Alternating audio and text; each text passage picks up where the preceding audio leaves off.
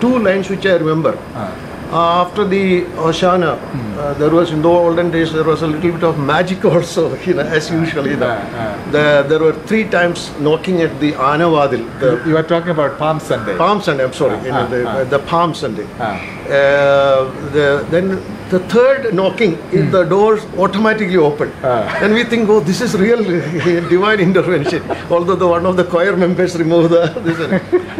The moment we enter, the choir without instrument sings the uh, commandment which Jesus Christ taught actually. Ah. Though we didn't follow the meanings in those days, Ah.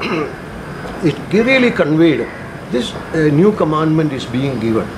I mean, I could get the feel actually. Ah, ah, Uh, the- This is Puqdan Handes Yahev Nalhon Raham Dade Raham Dade A new commandment I am giving you. Ah.